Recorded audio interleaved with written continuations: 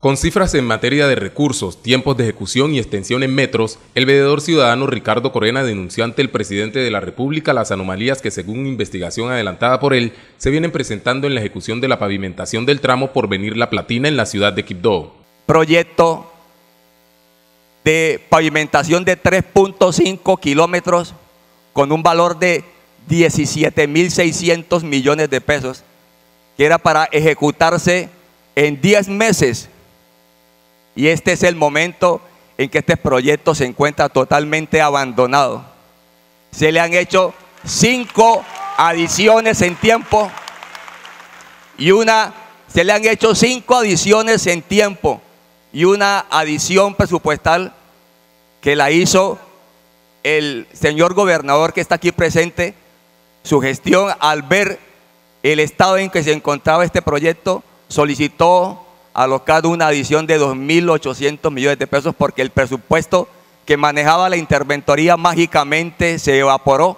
El vocero hizo una petición puntual al gobierno para que se fortalezca la veeduría en este departamento ante lo que llamó actuar paquidérmico de las autoridades de control. Demandó especial atención a los recursos de regalías. En nombre de la red de veeduría, señor presidente, solicitamos a usted un fortalecimiento de la misma, porque estamos huérfanos, nos sentimos solos luchando contra la corrupción en el departamento del Chocó.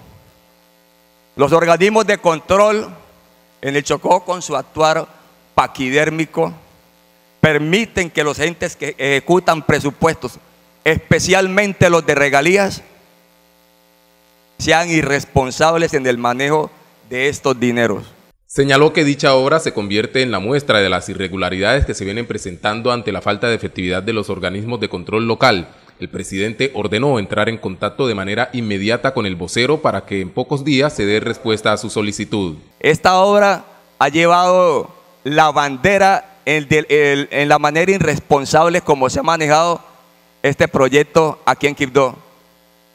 Le exijo aquí a la doctora Gloria Alonso que me regale un espacio, porque el, el DNP creo que ha sido permisivo en el manejo de este proyecto y eh, en el manejo también del gestor de proyecto para, para esta obra, quienes eh, han permitido que, que esta obra llegue al estado lamentable en que se encuentra. Usted, doctora Gloria, cuando fue vicecontralora, conoció muy bien problemas que tenían este tipo de obras.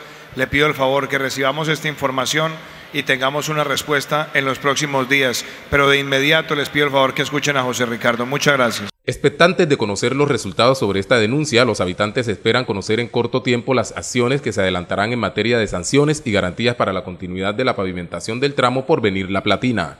Juan Gabriel Torres, CNC Noticias.